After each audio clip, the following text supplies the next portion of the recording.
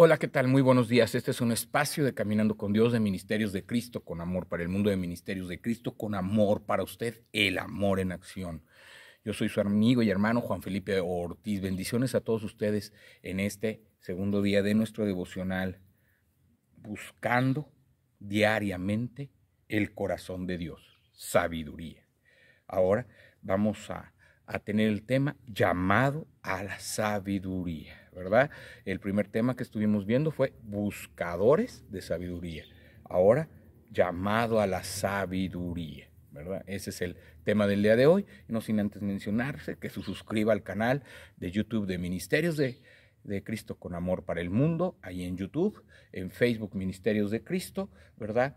Eh, suscríbase, dele like, comparta y eh, dele de, dele un toque a la campanita para que reciba todas las notificaciones cada vez que se sube un material, cada vez que grabamos en vivo, ahí usted estará recibiendo todas las notificaciones de este canal y también lo podrá tener en el podcast de Google Podcast y en Spotify, ahí también lo podrá encontrar en audio y en video en los canales de YouTube, de Facebook. Y eh, también invitarlos a que sigan escuchando también las cápsulas de fe, esas que se hacen directamente en vivo desde TikTok y después también en YouTube y en, en Facebook. Siga, síganos, síganos en todos los contenidos que estamos teniendo, que sean de gran edificación y si a usted le sirven, compártalos con alguien más, ¿verdad?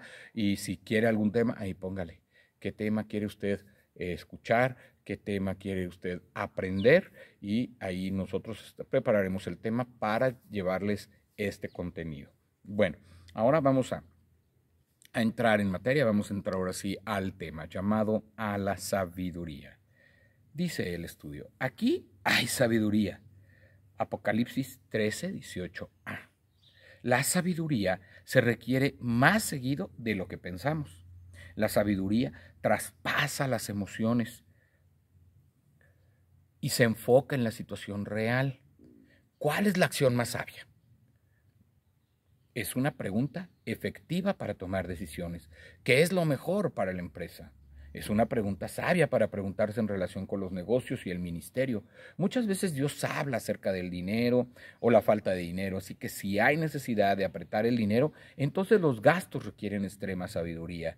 Lo, lo sabio sería gastar menos y no añadir gastos adicionales. No es la falta de fe en este punto, se trata de ser un buen mayordomo con lo que tienes para poder ser confiado con más. Mayordomía sabia atrae dadores generosos. Los sabios no se desesperan ni son impacientes. El sabio toma un paso atrás y evalúa completamente la situación antes de seguir adelante. Entonces, ¿solicita la sabiduría consistentemente? El entendimiento y la experiencia mezclada con el sentido común es una gran receta para alcanzarla. Ser sabio es buscar para entender la perspectiva de Dios en todo. Esa es la razón por la cual la sabiduría que se encuentra en la palabra de Dios es tan relevante para nuestra vida. La Biblia es un tesoro esperando ser encontrado por los sabios cazadores de sabiduría. No solo ora, lee y medita en la Biblia, sino busca también la sabiduría. Mateo 12, 42. Busca gente de pelo canoso, gente que exhiba sabiduría. La gente sabia te ayudará a validar el entendimiento que tú empiezas a obtener de tu estudio de las escrituras. Lee libros y escucha mensajes de hombres y mujeres sabios. Si pasas suficientemente tiempo en la presencia de los sabios, algo se te quedará. Clama la sabiduría cada vez que puedas. Sé sabio en tus relaciones. Sé sabio con tu dinero y tu tiempo. Cuando menos lo esperas, tu sabiduría atraerá a otros con hambre de ella. Además, la joya de la corona de la acumulación de la sabiduría es el temor de Dios. El principio de la sabiduría es el temor de Jehová. Los insensatos desprecian la sabiduría y la enseñanza. Proverbios 1.7. El temor de Dios te pone en pos de recibir sabiduría. Si no temes a Dios, no tienes sabiduría. Con razón el mundo está lleno de necios. Hemos perdido el temor de Dios y la sabiduría nos elude. El temor de Dios es una incubadora de la sabiduría. Dios dispensa sabiduría a los que le temen. Ama a Dios, pero témelo. Adora a Dios, pero témelo. Aprende, de Dios, pero témelo. Sirve a Dios, pero témelo. El temor de Dios te califica para sabiduría. No te familiarices tanto con Dios que pierdas el temor de Dios. Esto no es sabio y te lleva a la necedad. La sabiduría espera la llamada de la cosecha. Arráncala y disfrútala como una fruta madura en un día caluroso de verano. Prueba y ve que la sabiduría es buena. Nadie se queja de haber obtenido mucha sabiduría. Clama a la sabiduría seguido. Busca a los sabios y pídele a Dios y a ellos sabiduría.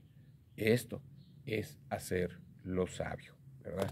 Bueno, pues estábamos hablando de el principio de la sabiduría es el temor a Dios. Y cuando hablamos de temor, aquí repetimos muchas veces la palabra temor en este estudio. No estamos hablando de miedo. No estamos hablando que usted le tenga miedo a Dios porque lo va a castigar, que le tenga que se porte bien porque Dios este, lo va a condenar o lo que sea. No, hablamos de temor. Temor en, en, en, en, en la palabra de Dios se refiere a obediencia, a reverencia, a respeto, ¿verdad? A, humildad, a, ser guiada, a dejarse ser guiados por Dios, a dejarse ser eh, enseñados por Dios. Dios cuando nosotros le pedimos sabiduría es porque nosotros necesitamos de Dios, necesitamos que nos dé el camino, que nos guíe, que nos dé luz en ciertos aspectos. Y todos los aspectos de nuestra vida necesitamos sabiduría. No hay aspecto en el que el hombre no necesite sabiduría.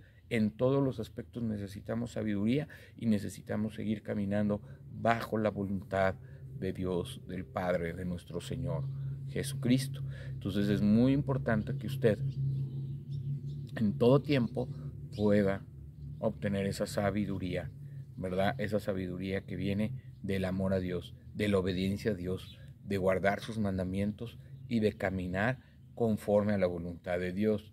Si usted le pide sabiduría de Dios, usted tiene que buscar la palabra que le va a dar el punto exacto que tiene que obedecer para obtener el conocimiento y la decisión sabia en todo momento y en todos los aspectos o en todos los temas.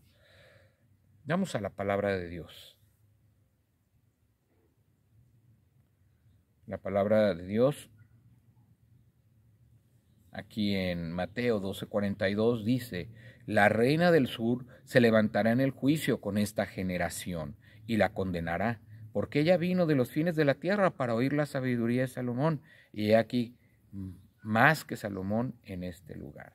Es decir, aquí Jesús nos está hablando, ¿verdad?, de que la reina de Saba, la reina que vino del sur, para oír de la sabiduría y ver la grandeza del reino de Salomón, eh, vio que era grande, conoció de la palabra de Dios, conoció de la sabiduría de Salomón, pero de la, de la sabiduría de Salomón que venía de Dios.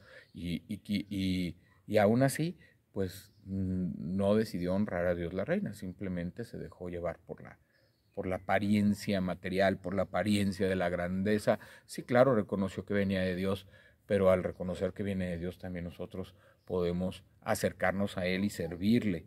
Y dice, y aquí más que Salomón en este lugar, es decir, Jesucristo es mucho más que Salomón. Jesucristo tiene la sabiduría de Dios, que viene de Dios porque Él es Dios mismo y Él debemos reconocer esa grandeza de Jesucristo porque Él con, la sabiduría que le dio el Padre, con la sabiduría que trajo del cielo, nos ha dado la palabra, el Evangelio, las buenas nuevas de salvación y de vida eterna. Bueno, pues este versículo, ¿verdad? Que tenemos aquí en Proverbios 1.7, que ya lo, lo habíamos dicho, dice, el principio de la sabiduría es el temor de Jehová. Los insensatos desprecian la sabiduría y la enseñanza. ¿Por qué los insensatos desprecian la sabiduría y la enseñanza? Porque no les conviene, porque los confronta en su pecado, los confronta en su maldad. Saben que ellos, si, si, si buscan a Dios, si buscan a Dios, si quieren encontrar a Dios, quieren tener ese encuentro con el Señor, pues lógicamente no podrán eh, eh, eh, tendrán que dejar esa vida de pecado, tendrán que dejar esa vida de maldad Y los insensatos quieren seguir en esa vida porque son necios, porque son insensatos, porque según ellos eso es lo que les hace sentir mejor, eso es lo que les llena a ellos, pero nunca van a llenar ese vacío en su corazón, siempre van a tener necesidad, van a vivir una vida de muerte espiritual y después una condenación en el infierno. Entonces, pues definitivamente eso es lo que Dios, ¿verdad?, nos dice.